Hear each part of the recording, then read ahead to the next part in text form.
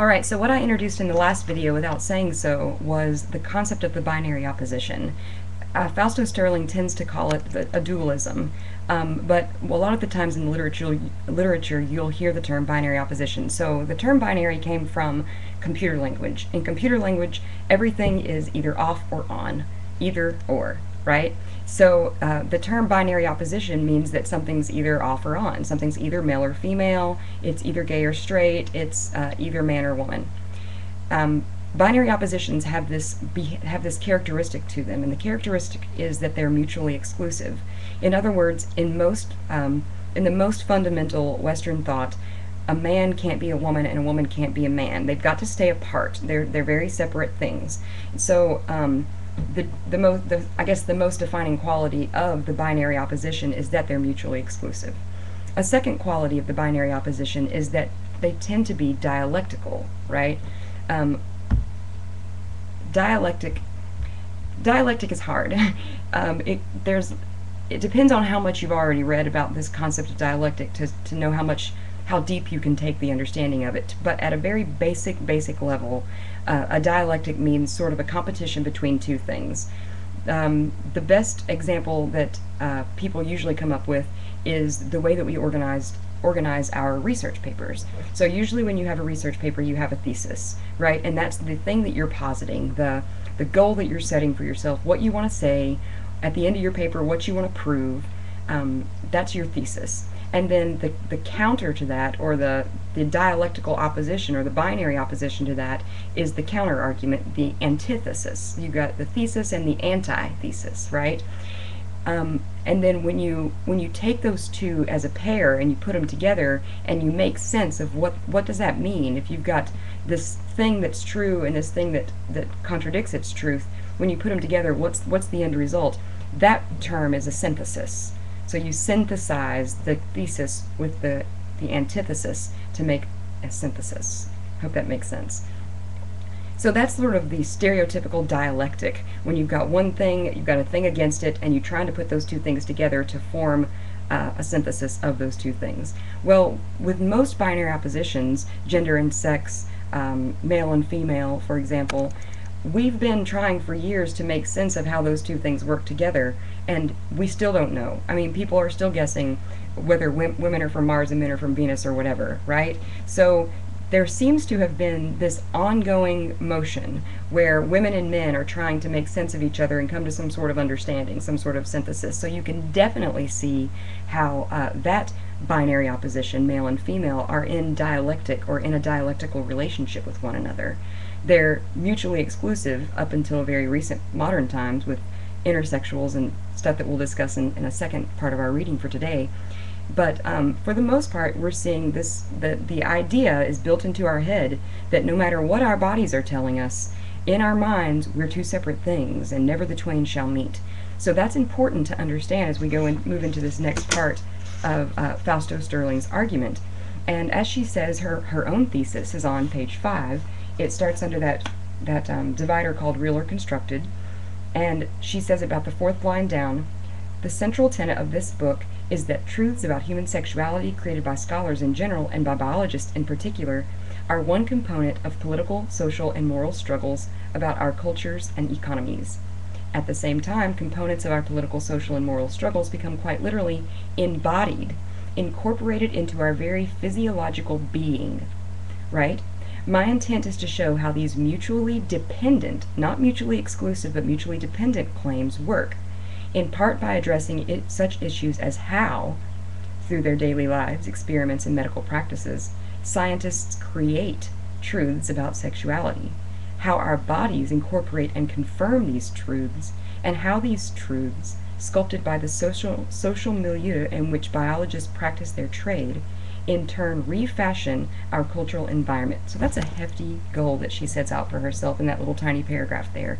What she's basically saying is the binary opposition of nature and nurture, nature being what is actually inside of our bodies when we are birthed, when we come out absolutely unscripted, we don't know anything, we have no real information, and we start to gather information just like that. That's nature. What are we when we are intrinsically and innately born without any sort of environmental pressure or suggestion? Nurture is the exact opposite. What does culture turn us into? What does the, the process of acculturation or the process of socialization create us to be? What kind of beings do we become once the nature part of us interacts with that social part? So again, we're seeing that dualism. What happens when nature and nurture synthesize? What does that dialectic relationship produce, right? And what she hopes to show, just like what she said about all the other dialectics that we've been talking about, is that it's not that simple, stupid. You've got to think of these things as interdependent rather than mutually exclusive. What is the word that she uses? Mutually dependent rather than mutually exclusive. So nature and nurture aren't things that you can just pull apart like that and hope to separate because they inform one another and are intrinsically linked. You can't remove the body from culture because you're using culture to talk about it. And you can't remove culture from the body because the body is necessary to talk about culture, the brain, the materiality. And she uses that word quite a bit. She's talking about the actual physical substance of ourselves when she uses that word materiality.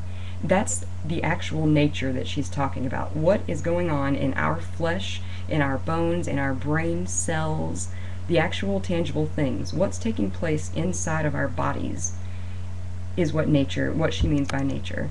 And so, if you could really imagine a world, just for a moment, free your mind to imagine a world where these dialectics didn't really exist and no one was asking you to fit into any sort of um, role. They didn't want you to play a race. You didn't have to act black or act white or act Asian. You could just act. Hopefully, um, what, what the hope would be is that if people were released from these pressures, they would they would perform what was kind of more natural to them, right? What came to the surface without any type of uh, social conditioning. So if you can imagine a world like that, what might you do? What might two people do together if that world existed? If they didn't have any of these um, institutions bearing down on them saying, don't do this, don't do this, this is wrong, this is amoral, this is sinful. If you didn't have any of that socialization, what would your body do? How would your body act? And so when you start to think about it in those terms, you start to see the difference between these these two bodies that she keeps talking about. And yes, she's talking about two different things. The one body is the actual physical body without any acculturation, without any socializa- so- socialization.